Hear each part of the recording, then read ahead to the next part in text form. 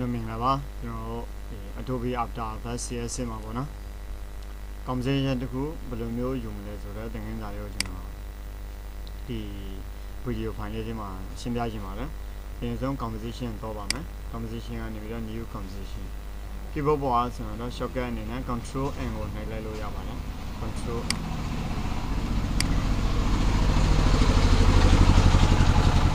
composition settings နော် composition setting ဘောက်လေးမှာကြာလာလို့ရှိရင် composition name ကိုတစ်ခုခုနာမည်ပေးလိုက်ပါ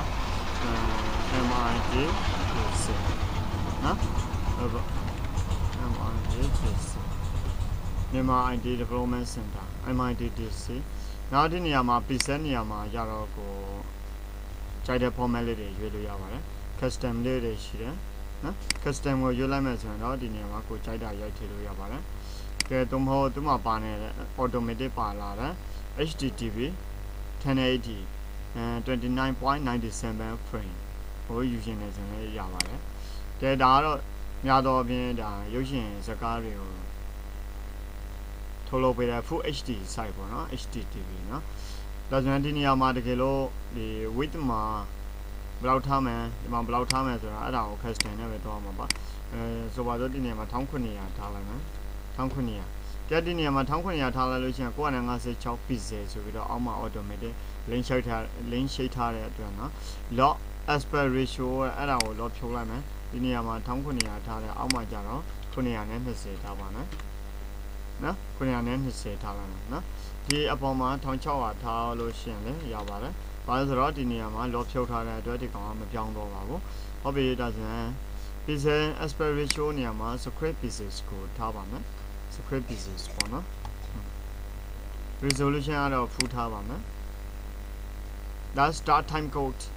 start time code duration duration ကကျွန်တော်တို့ဒီနေရာမှာ duration ကနိုင် minute second အဲ့နေရာမှာ second 60ထားပါမယ် second 60ထားပါမယ်ပြီးတော့ color background color ကတော့ဒီ gray ပေါ့နော်မိခိုးရောင်လေးယူပါမယ် okay နေလည်းပါပြီးတော့ဒီနေရာမှာအနီရောင်လေးပွင့်နေပါတယ်ဒါဆိုရင်ဒီကောင်က keyboard ပေါ်က caps lock ကိုဖွင့်ပေးလိုက်อืมပိတ်ပေးလိုက်မှာဖြစ်ပါတယ်ဒါဆိုရင်ဒီနေရာလေးမှာ background လေးတစ်ခုရသွားပြီပေါ့နော်ဒီ background color လေးကိုကျွန်တော်တို့ထပ်ပြောင်းခြင်းနဲ့ဆိုရင် composition composition settings မှာဝင်ပြောင်းအောင်မှာဖြစ်ပါတယ် control k ပါ keyboard ပေါ်ဆိုရင်တော့ control k ကိုနေလိုက်ပေါ့နော် ဒါဆိုရင်ဒီနေရာမှာ background ကိုအနည်းအောင်လေးထားခြင်းနဲ့ okay နော် okay နေလိုက်ပါ black ကဲကိုကတခြားဘယ်အဖြူအောင်ကိုဘယ်နေရာဒါလေးဆိုအနီရောင်ဒီနေရာလေးမှာအနီရောင်လေးရှိတယ်ကိုထားချင်တဲ့ကာလာဒီနေရာမှာအဖြူရောင်ဒီပန်လေးကိုယူပြီးတော့ကိုအဝါရောင်ဒီအဝါရောင်ပေါ်မှာထောက်လိုက်လို့ရှိရင်အဝါရောင်လေးပေါ်ပါမယ်အဲအဝါရောင်လေးပေါ်တယ်ဒီစာလုံးအပေါ်မှာပေါ့နော်ထောက်လိုက်လို့ရှိရင် ကဲလုံးမို့နောက်ထပ်တစ်ခုတော့ယူပါမယ်ဒီနေရာလေးမှာကိုအဖြူရောင်လေးယူမယ်ဒီနေရာလေးမှာဆိုရင်ဒီကာလာလေးယူမယ်သို့မဟုတ်အနှဲရောင်လေးယူမယ်ဆိုရင်အနှဲရောင်လေးနော် black ကဲကဲဒါဆိုရင်ဒီနေရာမှာလေးရွေးလို့ရပါပြီလားကိုခြိုက်တဲ့ပုံစံမျိုးလေးရွေးလို့ရတယ်အနီရောင်လေးထားလို့ရတယ်အဲအဲ့လိုမဟုတ်ဘူးနော်ဒီကနေပြီးတော့လဲအဲဒီကာလာလေးယူခြင်းလဲဆိုရင်ဒီနေရာမှာရှိနေတဲ့ကာလာလေးယူခြင်းလဲပေါ့နော်ဒီကာလာလေးယူခြင်းလဲဆိုရင်အဲ့တိုင်းယူလို့ရပါတယ်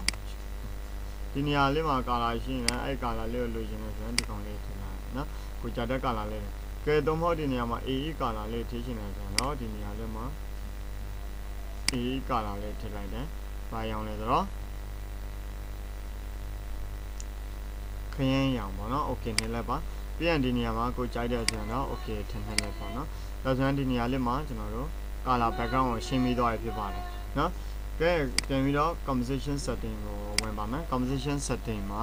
ကျွန်တော်တို့ touch ချင်လို့ရသေးတာဒီနေရာလေးမှာဆိုပါတော့ကျွန်တော်တို့2မိနစ်သို့မဟုတ်4မိနစ်4မိနစ်စာလောက်ယူပါမယ်4မိနစ်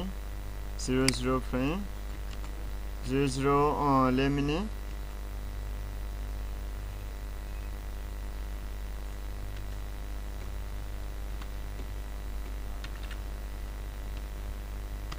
zero အာဟုတ်ပြီဒါဆိုရင် ကျွန်တော်တို့ရဲ့ setting setting ကဘယ်နှမိနစ်ရှိသွားရလဲဆိုတော့ဒီနေရာမှာ composition composition setting မှာဝင်ကြည့်လိုက်လို့ရှိရင်4မိနစ် 4 minute 00 frame ပေါ့နော်အာ okay ကဲဒါဆိုရင် new composition ယူတာရယ် composition setting ရယ်ကိုဟိုဒီတင်ခန်းစာဖြစ်မှာနားလည်လိမ့်မယ်လို့ထင်ပါတယ်ကျွန်တော်အရာတွေကတော့ဒီတိုင်းပါပဲเนาะအဲကျွန်တော်တို့ preset မှာတော့ကိုကြိုက်တဲ့ format လေးတွေယူလို့ရပါတယ်ဒီနေရာမှာဆိုရင် NTSCDP NTSCDP NTSCDP voice print အဲဒါ920 480 okay ဒီနေတာနော် NTSCDP အဲဒီပုံစံမျိုးယူရှင်တယ်ကျွန်တော်လည်းဒီနေရာမှာရပါတယ်နော်ဒါဆိုရင် composition setting ကတော့ဒီလောက်ပါပဲ new composition ယူမယ် composition setting စီနော်အဲဒီသင်ခန်းစာကတော့ဒီလောက်ပဲနော်